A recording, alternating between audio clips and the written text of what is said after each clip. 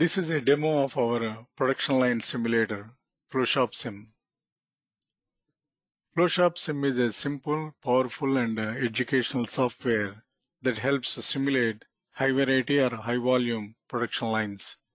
This tool is helpful in uh, training programs for conveying some important concepts of production lines concerning bottlenecks, work in process, lead times, throughput, and the effect of dependency and variation on these aspects.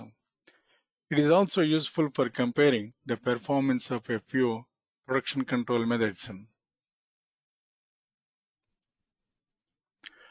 FlowShop Sim comes with an inbuilt example of a production line with five workstations as shown in this diagram.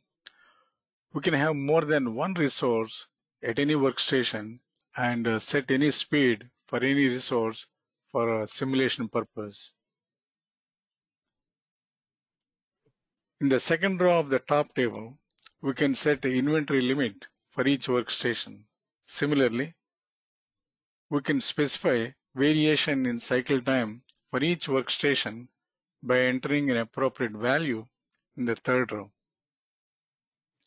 The lower table contains 15 routing templates.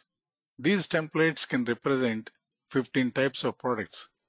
For simulation purpose, FlowShop Sim can create up to 30,000 jobs from these templates. The built-in example initially contains a list of 100 jobs created from those 15 routing templates. For simulation purpose, each job is created from a randomly selected template. However, routing of any job can be changed if necessary by making an appropriate change in template number in this column.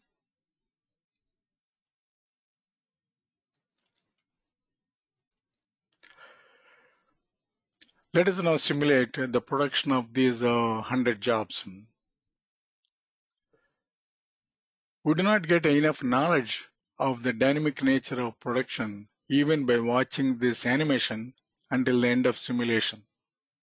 Instead, we can study and analyze the trace of simulation for getting a lot of valuable knowledge of the dynamic nature of production. FlowShop Sim presents the trace of simulation in many graphical and uh, numerical forms uh, to help with uh, production analysis. I would now skip animation to save time by checking this box. Now the simulation is completed almost in no time. We can see production KPIs in these uh, six boxes. As per simulation, the production system produces one job every 8.36 uh, minutes. The average WIP is at 21.47. Average production lead time of jobs is 179 minutes and average waiting time of jobs is 148 uh, minutes. This Gantt chart is uh, one form of the trace of simulation. It shows how each job has progressed over time uh, in simulated uh, production. Yellow colored bars represent waiting times of jobs for resources at uh, workstations. All bars of other colors represent uh, durations of uh, operations. This WIP chart shows inventory levels at each workstation over time.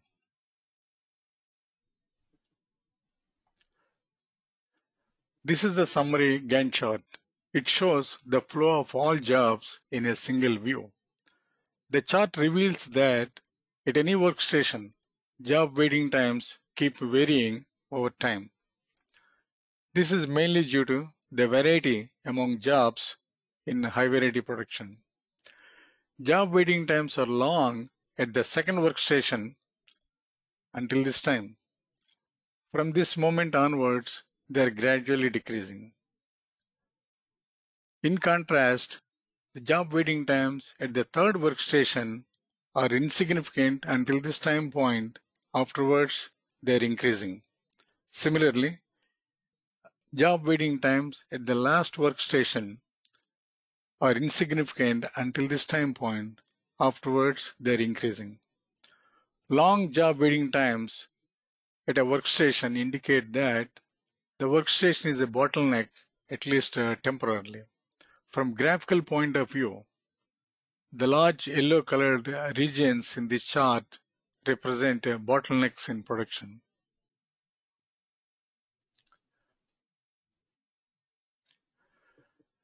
This chart is another graphical form of the trace of simulation. It shows our resource workloads over time. The last column of this table contains the overall resource utilization percentages over production period. This summary table shows production lead times of jobs in the last column.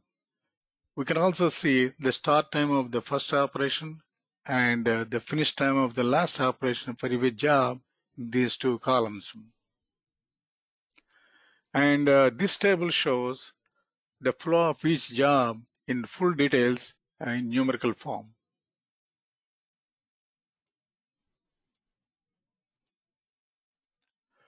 Let us now simulate the same production for an inventory limit of 4 instead of 25 for every workstation. And uh, let us simulate the same production with a CONWIP implementation by taking a WIP limit of 11. And uh, let us simulate the same production with a total waiting time of every job restricted to 50 minutes. And uh, let us simulate the same production with no in-process waiting, that is waiting time zero, like uh, one-piece flow. This is the Gantt chart for production with uh, no in-process waiting time in high-variety production. This table contains production KPIs in all simulations that are performed in the current session. It enables comparison of all cases with respect to production rate, WIP, and lead times. Let us now simulate production of a single high volume product with a variation in cycle times. Let us set a plus or minus 2 variation at each uh, workstation. And let us create a product of quantity 100 from the first routing template. In this case, cycle time varies between 8 and 10, 8 and 12 at every workstation.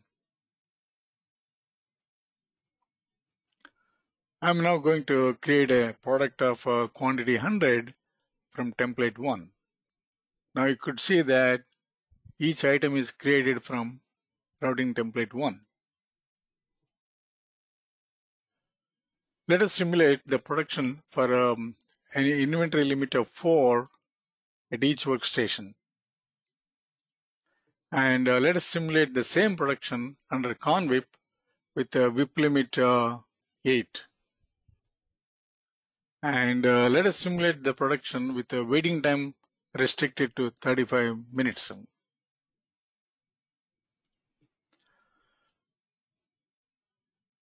This table now gives comparison of these three cases. Let me delete the old cases here. Now this table gives a comparison of uh, three cases. We can also implement uh, a changeover times by checking this box but we need to check this box. Thank you for watching this uh, brief demo of uh, FlowShop Sim.